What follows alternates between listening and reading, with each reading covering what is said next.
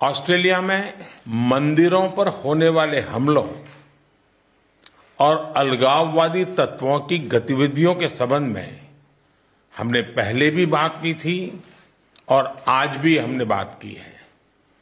भारत और ऑस्ट्रेलिया के सौहार्दपूर्ण रिश्तों को कोई भी तत्व अपने विचारों या अपने एक्शन से आघात पहुँचाए, ये हमें स्वीकार्य नहीं है।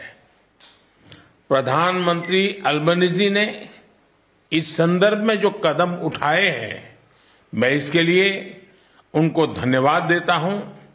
साथ ही उन्होंने मुझे एक बार फिर आश्वस्त किया है कि वो ऐसे तत्वों के विरुद्ध सख्त एक्शन लेते रहेंगे।